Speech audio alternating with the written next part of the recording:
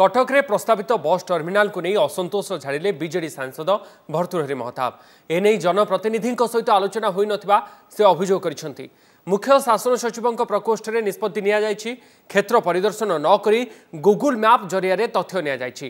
ଏନେଇ ଅଧିକ ଆଲୋଚନା କରିବାର ଆବଶ୍ୟକତା ଥିଲା ସ୍ଥାନୀୟ ଲୋକ ଓ ଜନପ୍ରତିନିଧିଙ୍କ ସହିତ ଆଲୋଚନା ହୋଇଥିଲେ ଭଲ ହୋଇଥାନ୍ତା ତେବେ ଖାନନଗରରେ ବସ୍ ଟର୍ମିନାଲ ନିର୍ମାଣ ଭୌଗୋଳିକ ଦୃଷ୍ଟିରୁ ଅନୁପଯୁକ୍ତ ବୋଲି କହିଛନ୍ତି ଭର୍ତ୍ତୃହରିମ୍ ତେବେ ଭର୍ତ୍ତୃହରିଙ୍କ ଅଭିଯୋଗରେ ଜବାବ ରଖିଛନ୍ତି ଚୌଦ୍ୱାର କଟକ ବିଧାୟକ ସୌଭିକ ବିଶ୍ୱାଳ କିମ୍ବା ବର୍ତ୍ତମାନ ଖାନନଗରରେ ଯେଉଁ ବସ୍ଷ୍ଟାଣ୍ଡ ହେବାକୁ ଯାଉଛି ଯାହାର ଶୁଭ ମୁଖ୍ୟମନ୍ତ୍ରୀ ଦେଇଛନ୍ତି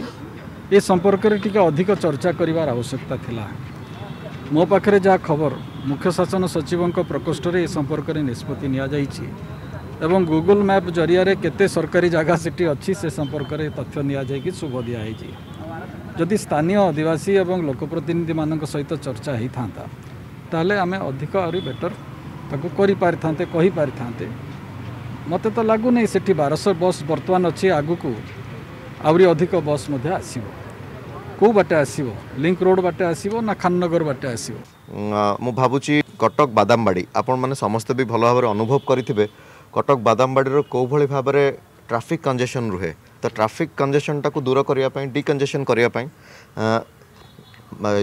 ଆମର ବସ୍ ଯେଉଁ ନେତା କଟକ ନେତାଜୀ ବସ୍ ଟର୍ମିନାଲ ଗୋଟେ ଐତିହାସିକ ପଦକ୍ଷେପ କହିଲେ ବି ମୁଁ ଭାବୁଛି ଭୁଲ ହେବ ନାହିଁ ନାଇଁ ଦେଖନ୍ତୁ ଆମର ଆମ ଗଭର୍ଣ୍ଣମେଣ୍ଟରେ ଯେଉଁ ଲୋକମାନଙ୍କୁ ଗୋଟେ ଜାଗାରୁ ନେଇକି ଆଉ ଗୋଟେ ଜାଗାରେ ତାଙ୍କୁ ରଖାଯାଉଛି ତାଙ୍କ ଲାଇଭଲିହୁଡ଼ ବିଷୟରେ ଭଲ ଭାବରେ ଚିନ୍ତା କରାହେଉଛି କେମିତି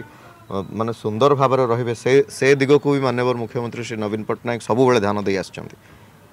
ସେଥିରେ କିଛି ଭୁଲ ରହିବ ନାହିଁ